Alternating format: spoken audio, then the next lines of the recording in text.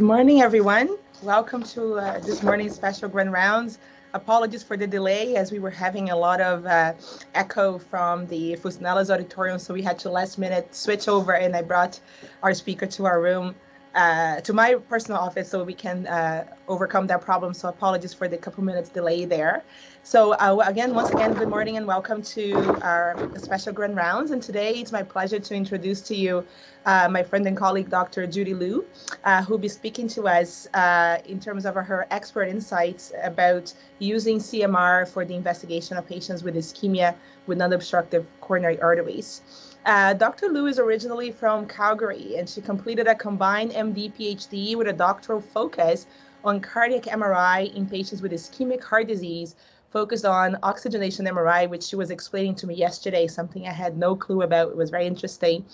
And after she completed her adult cardiology residency at the University of Manitoba, Dr. Luu then completed specialty training in women's heart disease at the prestigious program at Cedars-Sinai Medical Center in Los Angeles.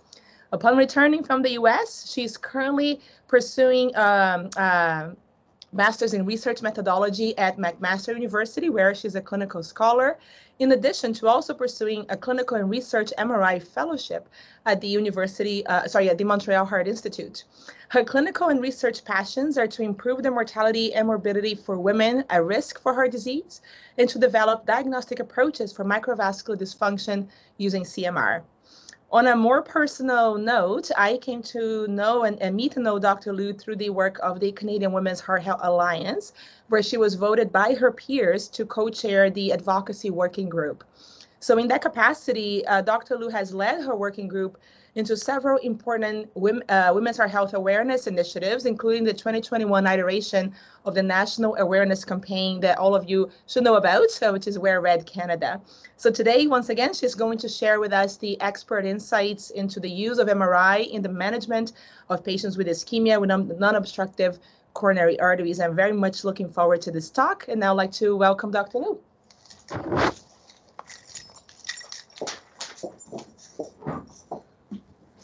Hello, everyone, and sorry for just let me get back into the gear of things here.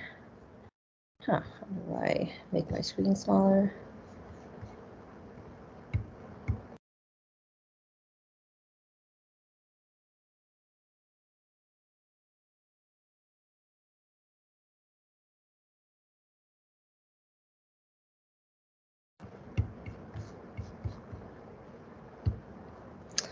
Uh, can everybody see my slides and hear me okay?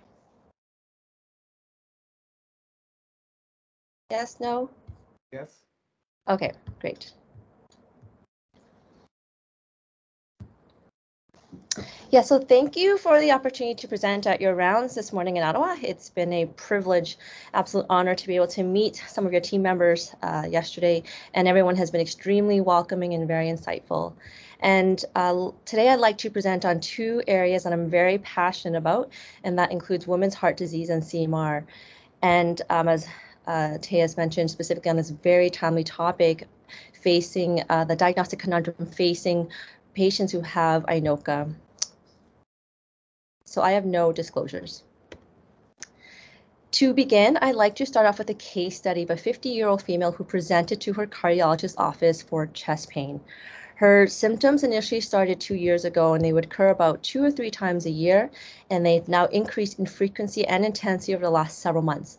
And she endorses substernal pain that's both sharp and tight in quality, and it can also radiate to her left neck. Sometimes she has tingling and paresthesia, um, and uh, these episodes occur with exertion, but they can also occur at rest, sometimes lasting for hours. And she often has nighttime episodes that occur after midnight. Her past medical history and her current medications are as you can see below. Her vitals, physical examination, and lab work at EKG in her cardiologist's office were essentially all normal.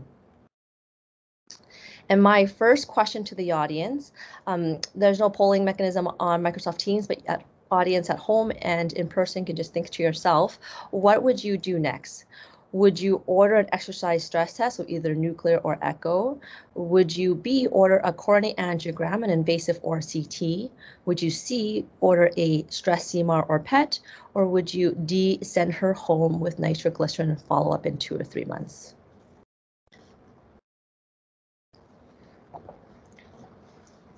So over the course of a few months, she continues to return with angina, and as you can see, um, multiple cardiac investigations were ordered by her cardiologist, and they included a nuclear stress test, a transthoracic echo, a coronary CT angio, and even a repeat exercise treadmill test. And you can see from the slides I've shown with her results that they were essentially, again, all normal. And so at this point, I'd like to poll the audience and ask you, now what would you do? Would you A, suspect that this is non-cardiac chest pain? You reassure her and you recommend that she follow up with her family doctor. Would you B, order additional alternative cardiac investigations? And if so, think to yourself, what would that be? Or would you C, refer her to your internal medicine colleagues to rule out other potential causes like pulmonary or GI related uh, conditions? Would you D, add a beta blocker and follow up in two or three months? And then finally, E, it's okay to not be sure what's going on. And you can say, I'm not sure what to do next. Yeah, so do think to yourself, and we will um, for sure return back to this case later on. So my objectives for today's talk are threefold. You know, firstly, I'd like to summarize the current understanding of INOCA related to its prevalence, prognosis, and underlying mechanisms. My second uh, objective is to describe the diagnostic approach for this condition and specifically focusing on the role of CMR. And then finally, I will end with outlining the future I envision for these two emerging and very interconnected fields of research. So for decades, the primary focus when managing patients with angina has been to verify coronary atherosclerosis and flow limiting disease. But in recent years, a new paradigm has emerged for ischemic heart disease. And as you can see from this figure, INOCA is a recently proposed umbrella term that conveys the importance of stable coronary syndromes beyond obstructive coronary artery disease. And INOCA aligns with its sibling term, MINOCA, so MI with no obstructive coronary artery disease, which is also a very diverse syndrome with distinct underlying causes. But for today's uh, presentation, I will focus mostly on the stable coronary counterpart of INOCA. So in its most simplest term, INOCA is a condition where patients present with symptoms and or signs of ischemia, but they're subsequently found to not have any obstructive coronary disease. And non-obstructive coronary arteries can be found in as many as two-thirds and one-third of men, two-thirds of women and one-third of men who undergo uh, coronary, in, clinically indicated coronary angiography. And as you can see from this graph to the right, from a large Danish cohort of over 11,000 patients, the proportion of those who have no obstructive coronary disease in both genders is increasing. And using the Women's Ischemia Syndrome Evaluation or the WISE study, patients with ischemia were found, patients with INOCA were found to have a high burden of angina, with as much as 30% having persistent moderate to severe symptoms at one year. And these anginal symptoms can vary broadly, so they can range from abdominal pain to generalized weakness or shoulder pain. And it's also important to recognize that there's a race and ethnicity difference. So Black women tend to report more stomach related pain when compared to white Caucasians who report more chest symptoms.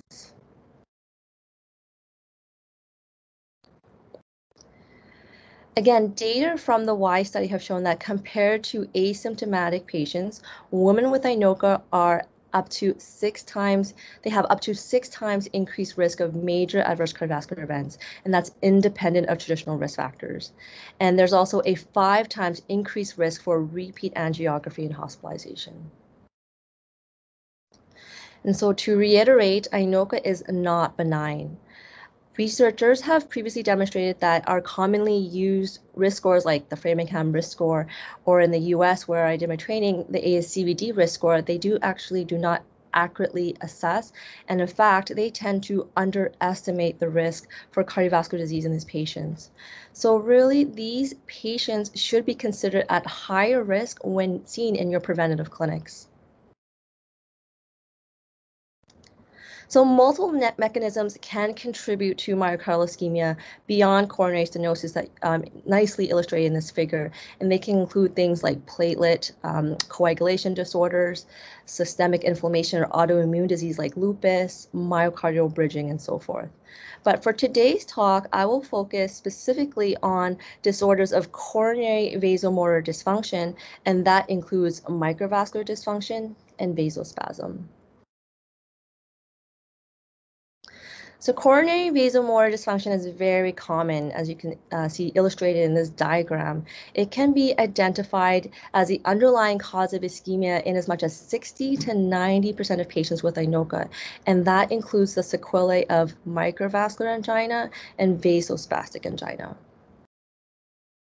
And as you can see depicted in this figure, microvascular dysfunction and vasospasm, while they are distinct conditions, they can cause ischemia in patients with non-obstructive as well as obstructive disease. And they can also overlap, resulting in a mixed phenotype. So this mixed phenotype makes INOCA a very heterogeneous and often very uh, difficult condition to diagnose. So now let's shift gear to the pathophysiology of INOCA from our current understanding. So shown to the right here, you can see that uh, extensive coronary arterial system. It's a vast network of vessels that range in various sizes with distinct function, with the endothelium forming the intima and the media that's comprised of your vascular smooth muscle cells. So the coronary microvasculature make up most of the blood volume um, and resistance in the heart, and it's responsible for the dynamic regulation of blood flow through the control of hormone and sympathetic tone. And there are a number of structural changes or microvascular remodeling modeling that have been associated with CMD. And these can include things like diffuse atherosclerosis, abnormal intimal thickening, and adverse changes in your capillary integrity. And then furthermore, CMD can also result from a variable combination of impaired vasodilation, so owing to endothelial dependent and endothelial independent mechanism. It can also be caused by increased vasoconstriction caused by various stimuli like endothelin 1 and acetylcholine. And when we think of the pathogenesis of vasospasm, while it's not fully yet understood, um, it's thought to be due to an interplay between endothelial dysfunction and vascular smooth muscle cell hyperreactivity. And what do I mean by that? So in the healthy endothelium, acetylcholine releases nitric oxide and it mediates vascular smooth muscle relaxation and increases blood flow. But when you have high doses or in patients who have endothelial dysfunction, acetylcholine directly stimulates your vascular smooth muscle cell to precipitate vasoconstriction, and this can lead to microvascular epicardial spasm. So it's postulated that endothelial dysfunction is actually potentially a precursor to coronary vasospasm. So one of the goals, therefore, when we're thinking of the diagnostic approach for INOCA is to determine, firstly, if there is underlying microvascular dysfunction. So at Cedars-Sinai, the approach first involves ruling out secondary causes of microvascular dysfunction. These can include things like valvular or heart disease, ruling out myocardial disorders like uh, dilated hypertrophic cardiomyopathies, and then after that, we then uh, proceed with a conservative strategy of offering the patient empirical therapy. And that includes things like um, aspirin, ACE inhibitors for endothelial improvement, and vasodilating beta blockers, calcium channel blockers, etc. But upon follow-up, if there are persistent symptoms, we proceed to non-invasive imaging to assess coronary flow reserve using modalities like PET or CMR. But it's important to note that a negative stress test does not rule out microvascular dysfunction. You can see from this table that in patients who have angina with no obstructive CAD, the traditional non-invasive tests like stress echo, nuclear, they were shown to have very limited diagnostic accuracy for detecting coronary vasomotor dysfunction when compared to the reference standard of invasive coronary function testing, which we'll talk about later on. So the sensitivity and the specificity of these traditional non-invasive stress tests for predicting um, CMD are actually very poor. And I stress that it's PET with no CFR measurements. So I'll now switch gears and spend the next portion of the presentation highlighting the role of CMR in providing a very comprehensive assessment of patients who are suspected of having INOCA. So the assessment of INOCA, again, like I mentioned before, begins with ruling out secondary causes like cardiomyopathies or severe valvular heart disease. So in order to do this, CMR can provide very accurate assessment of both function, size, volumetrics, functional parameters. But we should recognize the limitations of our current normal reference values, which are very outdated. Um, it uh, was uh, um, resulted from a very small heterogeneous sample of patients that range from 60 to 120 participants. And anatomically, we know that sex and age contribute significantly to variations in the heart and disease phenotype. And so it can really influence the accuracy of your diagnostic imaging. And so I'd like to highlight a recent study that we published with Sonia Anand out of McMaster and Matthias Friedrich of McGill using their very large cohort of patients from the Canadian Alliance of Healthy Hearts and Minds of over 3,000 individuals that were used to derive a new robust set of sex and age-specific normal reference values for CMR. And to illustrate the importance of sex on your ventricular size and function, I have an example here, hypothetical. So in severe mitral regurgitation, the guideline recommendation threshold for LV end systolic dimensions is 40 millimeters. And this roughly equates to a threshold of about 70 millimeters uh, milliliters right by your Teichholz's formula on echo.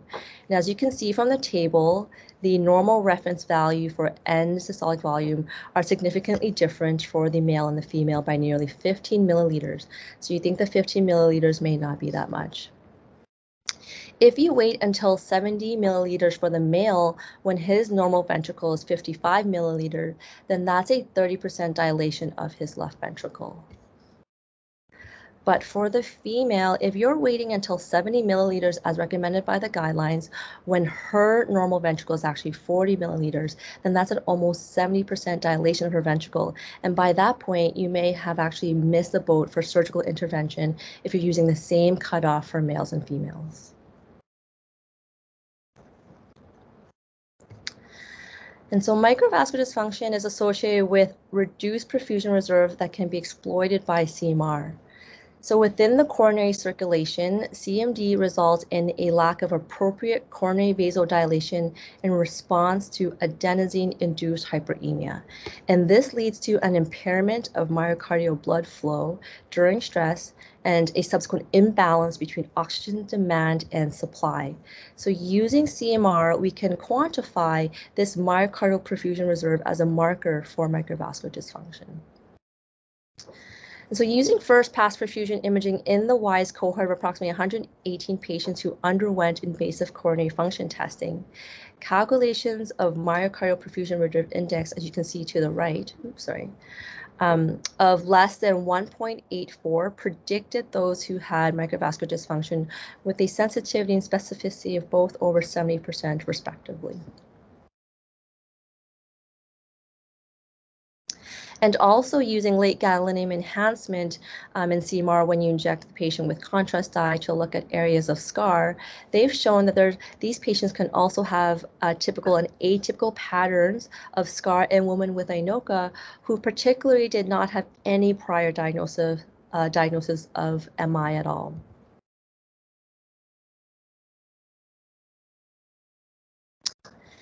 And another approach that can potentially be used for uh, to sorry to image microvascular dysfunction or coronary vasomotor disorders is called oxygenation sensitive CMR.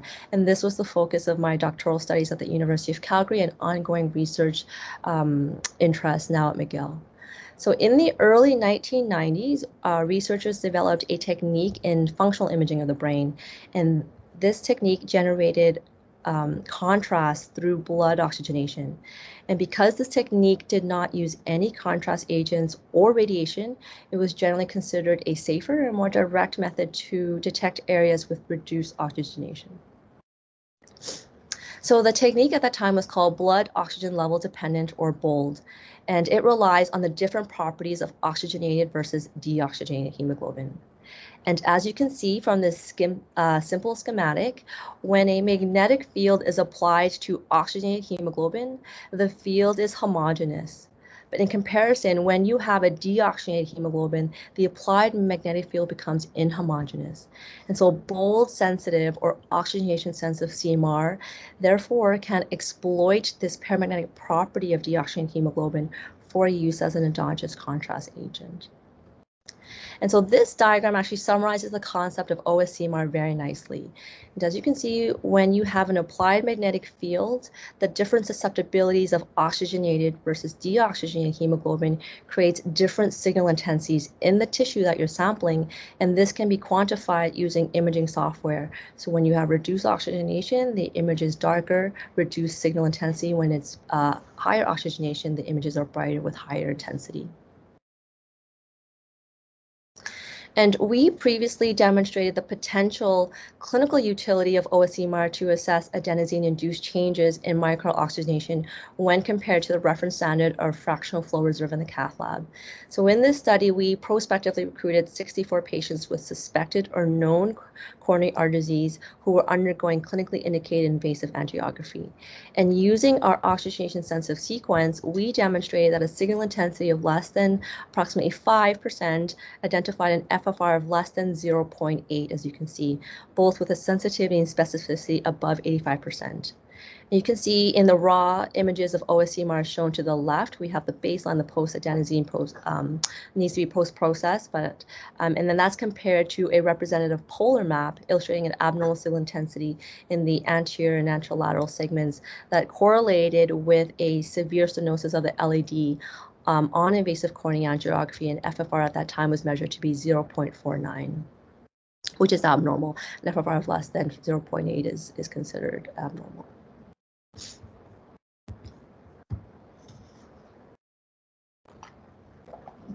And subsequently, in another study we published using OSCMR, we showed that compared to young and healthy um, individual controls, patients who had established coronary artery disease had a nearly 50% blunted response to adenosine.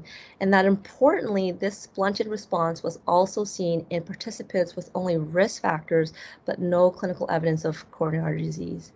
And we also found that the subendocardium was more affected than the subepicardium, even in patients who had only risk factors and no evidence of CAD. And so these findings of having localized perfusion defects to the subendocardium, we hypothesized may be related to underlying microvascular dysfunction. And this was similarly reported in previous patients in the, in the 1990s in cardiac syndrome X, which is the previous name, uh, which is the, the old uh, historical name for microvascular dysfunction. And our current research endeavor now is to eliminate the use of contrast and adenosine altogether with a simple hyperventilating breathing maneuver, and we couple this with our OSCMR uh, protocol. So in a nutshell, um, similar to effects in the brain, the coronary vasculature is known to have a very strong response to breathing maneuvers. And as you can see illustrated in this diagram to the left, the decrease in CO2 during hyperventilation induces coronary vasoconstriction with a subsequent reduction in myocardial blood flow, volume, and myocardial oxygenation. And when you follow this with apnea or voluntary breath hold, this leads to vasodilation followed by a strong increase in coronary blood flow. This um, this uh, video to the right is just an illustration of this, uh, sorry, a video of this very simple breathing maneuver that we perform at uh, McGill. And in our, sorry, I apologize uh, ahead of time for this uh, low resolution figure, but um, it demonstrates, so in our most recent um, uh, publication of preliminary data from our research group using OSCMR in 20 women who um, were found to have INOCA compared to 20 age-matched healthy volunteers. This entirely non-invasive uh, novel CMR approach demonstrated a very distinctive pattern of increased regional heterogeneity rather than a global um, reduction in myocardial oxygenation changes in patients in women who had INOCA. And again, this is consistent with previously uh, reported evidence of ischemia in CMR being localized to the subendocardium or appearing patchy throughout the myocardium, suggestive of a pathophysiology of potentially microvascular dysfunction.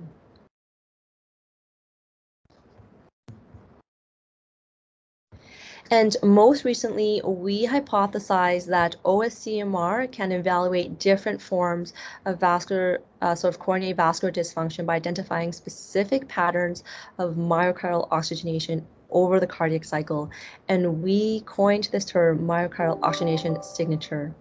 You can see in this figure that these are end systolic short axis views of the heart, and it corresponds to this uh, segmental time intensity curve of myocardial oxygenation or the signatures across the cardiac cycle in both a healthy volunteer and a patient shown to the right who has severe coronary disease. You can see that the blue area indicates an abnormally strong deoxygenation or low signal intensity and analogous to an EKG with defined parameters for each phase of the cardiac cycle, when you have perturbations that deviate from the normal EKG, you can routinely and very easily identify various disease states, uh, disease states, so including ischemia, acute MI, etc. So in collaboration with one of our um, industry partners using advanced machine learning techniques, we are now working to develop myocardial oxygenation signatures that can distinguish different disease pathologies across the spectrum of ischemic heart disease. So let's take you back to the case study. So this 50-year-old uh, female who had persistent symptoms was placed on appropriate therapies with statin for having an elevated ASCVD risk score. She was also put on an ACE inhibitor and vasodilating beta blockers, including uh, such as uh, including carvedilol. But she did return with persistent pain, and so we decided to proceed with a non-invasive imaging using stress CMR at Cedars. And this did indeed show an abnormal perfusion of MPRI of less than 1.84 with no evidence of late gadolinium enhancement. So she at that time, we speculated, had microvascular dysfunction. But in some cases, however, it may not be that straightforward. And when we still have clinical equipoise, the role of invasive coronary function testing should be pursued to better define the underlying etiology. And what do I mean by coronary, uh, so invasive coronary function testing? So it's a procedure that's performed in the cath lab, and this is the approach that's outlined at Cedars-Sinai. Um, it can be summarized in three steps, as you can see here. So it's much more complicated than this, but for the audience, I will, um, in simple terms, explain it here. So in the first step, we rule out obstructive epicardial stenosis with a diagnostic angiogram. And at the same time, we can also assess for myocardial bridging and or increased nociception, which is the sensation of increased pain despite having minimal manipula manipulation with the coronary wire. And in step two, we assess for coronary vasal relaxation through the use of a Doppler tipped guide wire and intracoronary injections of adenosine. And this tests for non-endothelial dependent microvascular um, dysfunction using a measurement of coronary flow reserve. And then finally, in step three, we specifically evaluate for the propensity for coronary vasoconstriction using acetylcholine provocation. So we can remember my previous slide about uh, the mechanism of, of microvas of a coronary vasospasm. When you have an endothel healthy endothelium, acetylcholine stimulates the release of nitric oxide, and this mediates vascular smooth muscle cell relaxation, subsequent increase in your blood flow. But when you have high doses of acetylcholine or in patients who have endothelial dysfunction, that acetylcholine actually directly stimulates your vascular smooth muscle cell to, vas- to cause vasoconstriction. And this we postulate uh, precipitates to epicardial vasospasm or microvascular um, vasospasm induced ischemia. And this table summarizes the different pathways for INOCA that we target with coronary uh, function testing. So it's not meant to be memorized, but it's really meant to illustrate the heterogeneous um, pathways that INOCA patients with INOCA can present with. It can be non-endothelial dependent, endothelial dependent, micro mac, macrovascular dysfunction. It can also be coronary vasospasm, both micro and macrovascular dysfunction. So when you look at an individual who has a suspected INOCA in front of you, it's really potentially not that simple. And importantly, again, in their WISE cohort, uh, they've shown that invasive measures of microvascular uh, function predicts adverse cardiovascular outcomes. And so specifically, they've shown that for every 0.1 decrease in your coronary flow reserve, that was associated with an 8% increase in the risk of of excessive MACE. And then every 10% decrease in your coronary blood flow in response to acetylcholine, that was associated with a 23% increase in your risk of all-cause mortality and 16% excess risk for MACE.